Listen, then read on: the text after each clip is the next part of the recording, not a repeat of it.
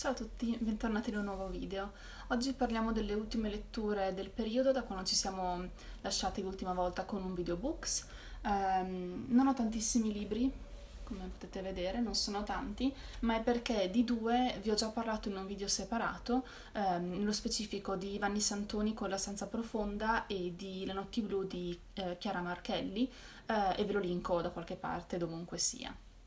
Partiamo subito con una lettura deludente che è um, una graphic novel The French Milk di Lucy eh, Kisley, Nisley, non so come si pronunci. Comunque, questo qua. Questo, questa copertina mi, mi, praticamente perseguitava da anni su Tumblr. Ogni volta che la vedevo pensavo, oh no, devo leggere quel libro e non lo trovavo mai da nessuna parte. Poi recentemente ho scoperto tipo la fumetteria definitiva a Londra che Forse mi piace di più di uh, Forbidden Planet, senza il forse, perché ha molte cose, um, beh, oltre a, graphic novel che conoscono tutti, insomma, um, ha molte cose di nicchia e um, ha anche tutta una sezione per le, le zines, quindi pubblicazioni indipendenti. È molto bella, si chiama Gosh ed è a Soho, quindi se andate a Londra probabilmente ci passerete vicino senza saperlo. Eh, quindi l'ho visto lì e ho pensato no, devo averlo.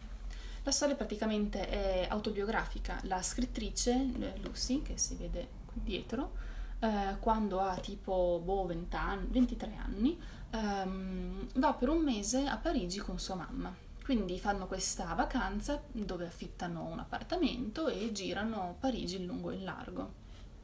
E questo, ehm, questo romanzo è così il racconto di questa, di questa vacanza. Lucy è in un periodo particolare della sua vita perché sta finendo l'università, eh, quindi è piena di dubbi sul suo futuro, su cosa farà, su come sarà. Eh, le manca il suo ragazzo che ovviamente è in America e, eh, e vorrebbe riuscire appunto a fare la, eh, la fumettista da grande e il French Milk del titolo è il latte intero eh, fresco che lei compra e che sostiene essere mille volte più buono del latte che hanno in America. Allora, perché è deludente? Perché non c'è grande sostanza in un certo senso. Se anche solo vi capita di vederlo in libreria, non so se sia tradotto, lo cercherò e vi, vi faccio sapere sotto. In pratica è, un, è una serie di liste voi immaginate di andare in vacanza e di ogni giorno buttare giù sul vostro diario oggi ho mangiato eh, croissant per colazione, poi siamo andati al Louvre eh, e poi per cena ho mangiato, non lo so, del pesce. Ecco, eh, avete scritto anche voi French Milk, perché a parte qualche sporadica riflessione o qualche eh, momento così un po' più, non voglio dire filosofico, però in cui lei si interroga su appunto quello che sarà il suo futuro e si fa anche domande eh, in generale su, eh, su, cosa voglia dire vivere una, una, vita dove l'arte è al centro di tutto. Eh, stringi stringi in realtà non c'è niente, è veramente una lista, una lista di ho fatto questo e ho visto quell'altro e siamo andati qui e, e mi manca il mio ragazzo. E, oggi non stavo tanto bene, cose di questo genere. E quindi mi è dispiaciuto perché in potenza poteva essere molto buono, nella realtà dei fatti non so. Eh, ecco, io se dovessi darvi un consiglio vi direi mm, leggete altro. Se volete leggere un buon memoir ehm, in forma di graphic novel, buttatevi su eh, sulla Bechtel con eh, Fun Home perché quello veramente merita. Quindi, chiusa la parentesi, eh, successivamente ve, ve, li avevo già mostrati questi due libri in, in un book haul Uh, e vi sto parlando di Kate Tempest. Ho letto sia il romanzo The Bricks That Built uh, the Houses che um, in italiano dovrebbe uscire o è già uscito, comunque sotto vi scrivo, non mi ricordo né il titolo né, né la traduttrice, chiedo venia. E uh, la versione, um, diciamo, con gli stessi personaggi che compaiono qua, però sotto forma di lungo poema, Let Them Eat Chaos, che ho visto anche dal vivo.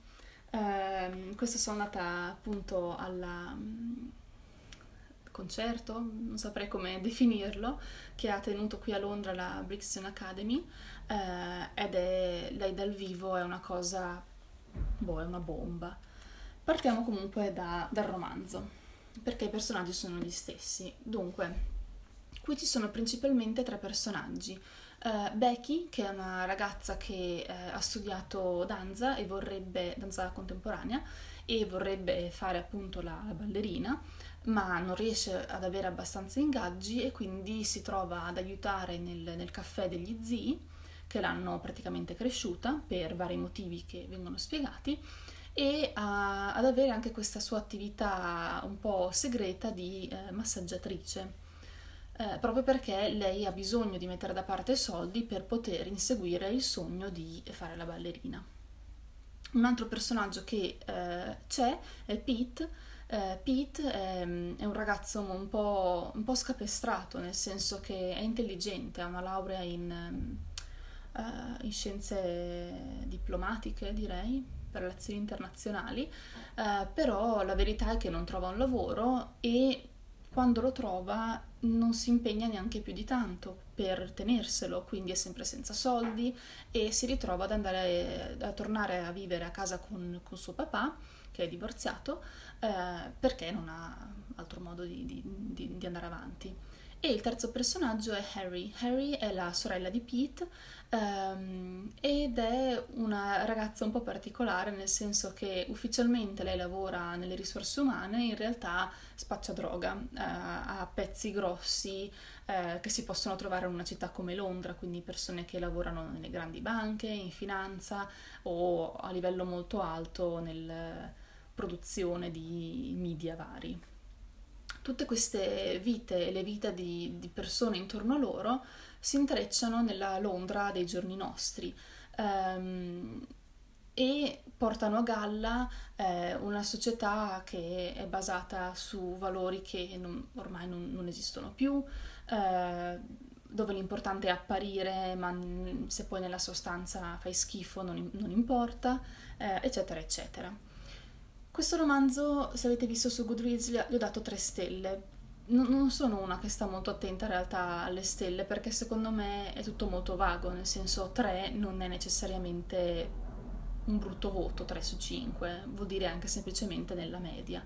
E non penso che questo sia un romanzo nella media, penso che Kate Tempest sia veramente molto brava a scrivere, molto brava a, ehm, ad avere una prosa eh, musicale, probabilmente proprio perché scrive poesie e, e, scrive musica. Però ad un certo punto, secondo me, lei, lei si perde in questo romanzo e, um, e, tutte le fila del racconto vanno un po' a sfilacciarsi invece che a chiudere un, un ipotetico cerchio. Uh, quindi mi è dispiaciuto perché si entra veramente nelle vite di queste persone, si conosce veramente tanto di loro, si impara a sentire la loro voce e a immaginarsele in giro per Londra. Però, appunto, il finale mi ha lasciato un po', un po delusa, un po' in sospeso. Quindi non lo so, secondo me è comunque il suo primo romanzo, eh, quindi eh, è, un, è un'ottima prima prova, eh, però forse mi sarei aspettata qualcosa di più perché in effetti poi ho letto, come vi dicevo, Let the Meet Chaos, che è questo unico lungo poema e ehm, suo, l'album ononimo, oh, ononimo e l'album eh, omonimo che eh, potete ascoltare anche su Spotify credo ehm, è esattamente questo. Cioè se voi ascoltate le canzoni e seguite sul libro lo potete fare insomma Um, e di nuovo anche qui incontriamo varie persone, fra cui Becky, Harry e Pete, um, varie persone che si trovano tutte a Londra e in questo momento alle 4.18 di notte uh, sono ovviamente in vari punti diversi della loro vita, del loro per, della, loro, della loro vita, del loro percorso, nel, nel mentre uh, Kate Tempest fa un'analisi di quella che è la nostra società odierna. Ci sono ehm, eh, versi che ti, ti, ti, ti prendono e ti, distruggono la faccia, non so come dire, ti, ti prendono a sberle, ti fanno svegliare. Eh, è stato paragonato anche a The Wasteland, eh, nel senso che chiaramente potete capire no? le tematiche, la società contemporanea, Londra come città che qua viene definita una città lost, eh, una città perduta. Ehm, e è bellissimo, io non so come altro dire. Se, se, se avete paura a leggere poesia, pensate che sia difficile da comprendere, buttatevi su questo perché non è quel tipo di poesia che vi lascia ehm, mm, che vi lascia persi, vi fa pensare ok, c'è sicuramente qualcosa che non sto capendo, c'è qualche riferimento che però io non colgo. Andate sul sicuro e vedrete che sarete soddisfatti da Kate Tempest. Adesso basta.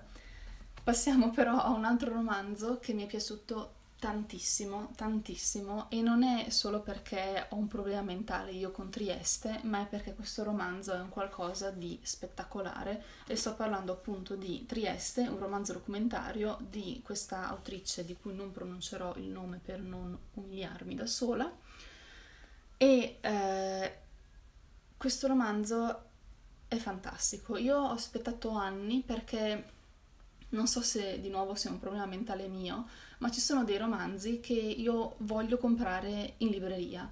Eh, magari sono difficilissimi a trovare pur essendo in catalogo, pur essendo relativamente nuovi, però non mi va di comprarli online, cioè voglio avere quell'esperienza di entrare in libreria, vederlo, prenderlo e comprarlo. E questo non lo trovavo mai. Mai, mai, da nessuna parte. In nessuna città dove io andassi, no, no, non c'era. Ovviamente dopo che l'ho comprato eh, è comparso ovunque, ma vabbè.